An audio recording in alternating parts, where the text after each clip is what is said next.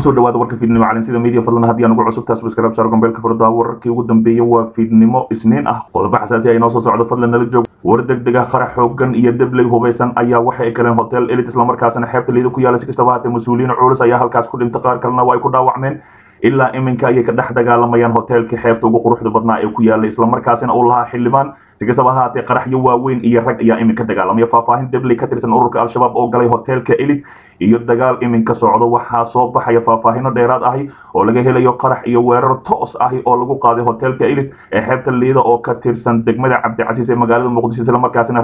rag sarsare iyo xildhibaano wasiiro agaasimayaal kulli halkaas ay ku sugnaayeen. Weerarka ayaa ku bilowda qarax loo adeegsada gaari laga soo buuxiyey waxyaabaha qarxa ayaa lala beegsaday qeybaha hore ee hoteelka kadib. Waxaa la maqlay rasaas iyadoo debley hubaysan ee ka tirsan ururka al-shabaab ay gudaha u galeen hoteelka sida lagu soo xigtay sida laga soo xigtay dadweyne ku sugnaa goobta uu qaraxa iyo weerarka tooska ka dhacday sidoo kale ilaalada hoteelka ayaa dagaal la galay dableyda weerarka hoteelka ku soo qaaday waxaana weli socda rasaasta ay isweydaarsanayaan labada dhinac. Kooxo hubaysan oo ka tirsan xiriirka al-shabaab argagixisada al-shabaab ayaa weerar loo adeegsaday qaraxyo iyo dabley hubaysan ku qaday hotel elit ee ku yaalla xeebta liido ee magaalada muqdisho. Rasaas ayaa hadda ka soconaysa gudaha hoteelka ayuu yidhi. Afhayeenka wasaaradda warfaafinta qoraal uu soo dhigay bartiisa bulshada ee gaarka ahi. Waxaa cakiran xaalada goobtaasi iyadoo dad badani ay go-doon ku jiraan gudaha hoteelka waxaana gaaray ciidamo badan oo kuwa amniga ahi oo wada howlgalla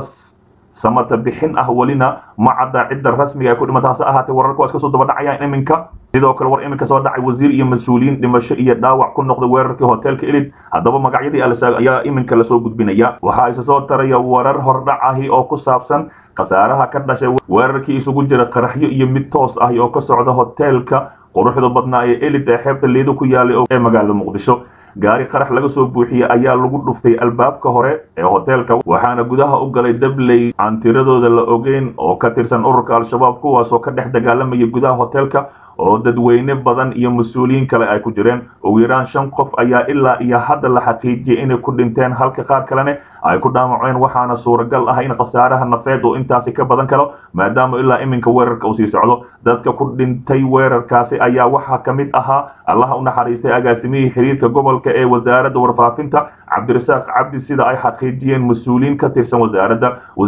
Wasiirka warfaafinta dowladda dalka soomaaliya maxamed cabdi xayir maareeye ayaa ka tacsiiday geeridii agaasimihii xiriirka gobollada iyo wasiirada iyo dadkii kale ee ku dhintay weerarkii ka dhacay liido wasiirka howlaha guud iyo guryeynta galmudug axmed dhiblaawe ayaa dhaawac ka soo gaaray sida ay xaqiijiyeen ilo wareedo lagu kalsoon yahay. Waxaa sidoo kale ka mid ahaa dadkii dhaawacmay sawirqaade maxamed cabdi xuseen oo ka tirsan howlwadeenada tv-ga qaranka ee ku hadla codka dowladda federaalk soomaaliya iyo fanaanad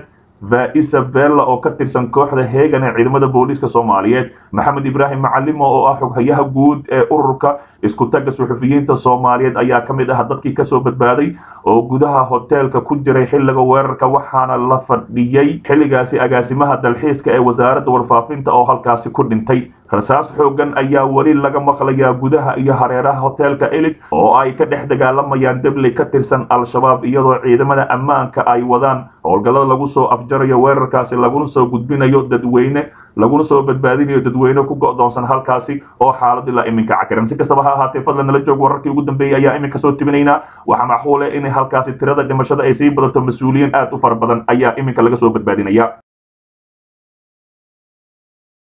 shir afar geesood ah oo iminka ka socda magaalada dhuusamareeb iyo wararkii ugu dambeeyay ayaa ka soo baxaya si kastaba ha ahaatee afartan madaxweyne ayaa iminka sii tashanaya xilli ay weli ay ka maqan yihiin axmed madoobe iyo dani shirkaasi. Wararka ka imaanaya magaalada dhuusamareeb ayaa sheegaya inuu haatan shir gooniyaha u socdo madaxweynaha soomaaliya maxamed cabdilaahi farmaajo iyo madaxweyneyaasha maamul goboleedyada hirshabeelle koonfur galbeed iyo galmudug kaas oo ah mid saxaafadda ay dibadda ka joogto islamarkaasina afartooda jilbaha isla galeen. Shirka saddex geesoodka ah ayaa waxaa diiradda lagu saaraya caqabadaha hortaagan. Furitaanka wejiga saddexaad ee shirka dhuusamareeb sida ay aclansida media u xaqiijiyeen ilo wareegyo lagu kalsoon yahay oo ku sugan gudaha magaalada dhuusamareeb wararka qaar ayaa sheegaya in shirka sababta uu furmila yahay ay tahay maqnaashaha madaxweynaha jubbaland iyo puntland oo aan weli tegin caasimada galmudug. Axmed madoobe ayaa safar ugu maqan dalka dibaddiisa gaar ahaan magaalada nairobi oo qalliin caafimaad u galay halka dani oo weli ku sugan yahay magaalada jabuuti ama dalkaasi jabuuti si kastaba ha ahaatee axmed madoobe ayaa waxaa la leeyahay caafimaad qalliinaha ayuu ku maray nairobi islamarkaasina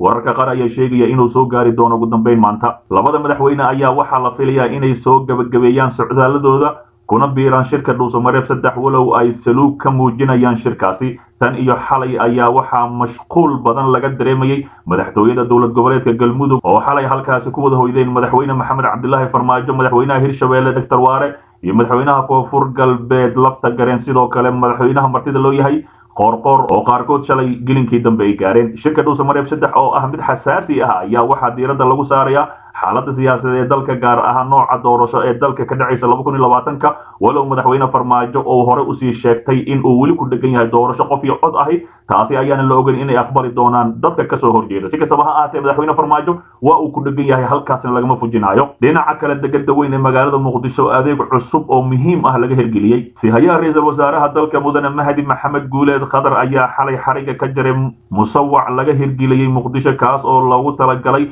inuu astaan u noqdo maraakiibta iyo doomaha isticmaalaya xeebaha soomaaliya si haddii ay cillad ku timaado ugu soo xirtaan degada magaalada muqdisho. Adeegan oo ah mid casri ah ayaa bixinaya iftiin xilliyada habeenkii ah si ay u arkaan maraakiibta iyo doomaha haddii ay halis dareemaan islamarkaasina dhankaasi magaalada muqdisho ay soo aadaan. Mahdi guuleed khadar oo dah furay mashruucani ayaa sheegay inuu muhiim u yahay degada magaalada muqdisho iyo dhammaan maraakiibta isticmaala biyaha soomaaliya islamarkaasina caalamiga ah. Sidoo kale wuxuu tilmaamay in hirgelintiisa ay ku timid dadaallo ay si wada jir ah u bixiyeen wasaaradda gulumaysiga iyo degadaha ee dowladda soomaaliya. Mar uu hadlaya mahdi guuleed markii uu xarga ka jaray waxa uu yidhi waxa inoo tahay farxad aad u weyn in aynu dah furno musawac oo ah hagaha maraakiibta iyo doomaha marka ay dabaylo dhacaan ama ay dhibaatooyin kale soo wajahdo. Waana meesha ay ku soo hiranayaan si ay u soo gaaraan. Degada magaalada muqdisho waana tallaabo muhiim ahi waxaana qalabkani loo sameeyey. Hab casri ah horay ayuu dalka ugu jiri jiray ayuu yidhi balse haatan ayaa dib loo soo celiyey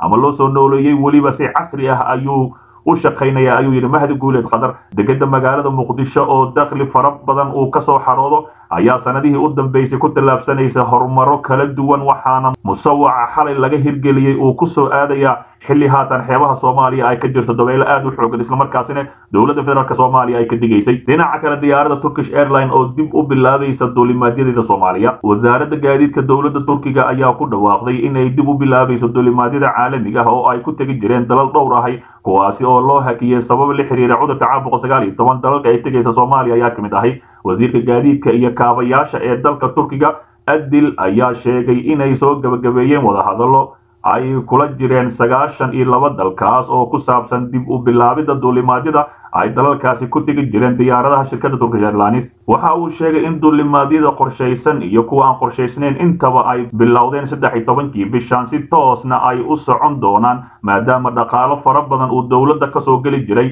dhinaca kale madaxa shirkadda turkish airline ayaa waxa uu sheegay in dhaqaalo yari ay soo wajahday shirkadda wixii ka dambeeyey markii cudurka caabuqa sagaal iyo toban oo ka dilaacay caalamka islamarkaasina ay khasaareen lacag dhan laba dhibic saddex bilyan oo lacagta liiraga ah liiraha ah oo u dhigmato saddex boqol shan iyo toban milyan oo dollar. Wadamada diyaaradda turkish airline safarka ku tegi jirtay waxaa ka mid ahay soomaaliya jabuuti belgium sweden ruushka serbiya senegal luxembourg masar libiya ukraine lubnaan indonesia talyaaniga kuwait kosovo albania algeria azerbaijan australia bangaladesh beirus bosnia iyo waddanka switzerland canada china croatia denmark jarmalka faransiiska u k griika hongo israel africost qatar poland netherland iyo maraykanka ayaa lagu yidhi